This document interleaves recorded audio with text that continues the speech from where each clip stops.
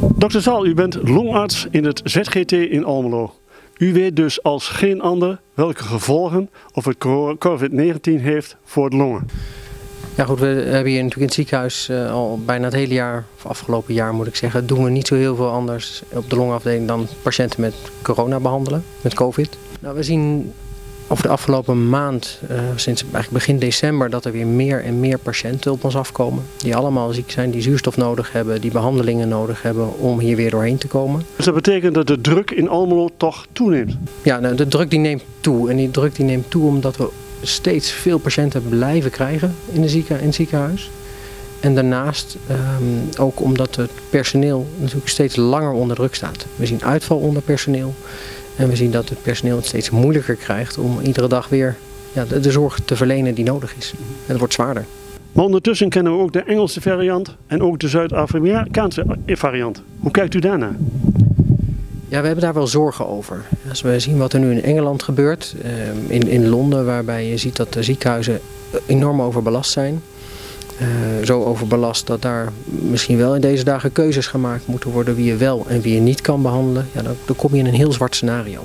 De vaccinatie die momenteel de, aan de orde is, is dat een oplossing? Ja, ik, ik denk dat met de, de pandemie die er nu is, dat de enige oplossing uh, dat, dat is een vaccinatie. Dat is eigenlijk je enige uitweg uit deze, uit deze situatie. En zo'n vaccinatie zorgt ervoor dat je eigenlijk gecontroleerd afweerstoffen kunt maken tegen het virus. Of tegen deeltjes van het virus, waardoor als je geïnfecteerd wordt, je er niet ziek van wordt. En dat hebben we natuurlijk nu gezien in de studies die gedaan zijn met die vaccins. Er zijn nu twee vaccins in Nederland beschikbaar. Dat is het, Pfizer-vaccin en het Moderna-vaccin.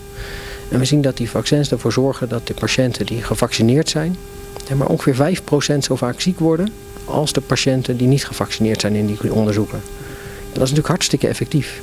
En de bijwerkingen die zijn heel erg weinig. Ze zijn heel beperkt. Het gaat met name dan om vermoeidheid, hoofdpijn en een pijnlijke schouders ook, als ik ook afgelopen weekend had. We moeten het samen doen, anders krijgen we de corona er niet onder. Zien we overal in de stad staan. Daar bent u het mee eens?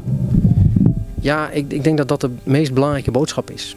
En wij moeten het hier in het ziekenhuis moeten we het samen doen. In de zin dat ik op mijn verpleegafdeling, eh, waar de, de COVID-afdelingen zijn, daar heb ik verpleegkundigen rondlopen van de longafdeling, maar ook van de interne afdeling. En, en van allerlei afdelingen lopen daar mensen rond. In het ziekenhuis moeten we het samen doen. Maar we hebben daar de mensen in de maatschappij, dus in, in Almelo ook voor nodig.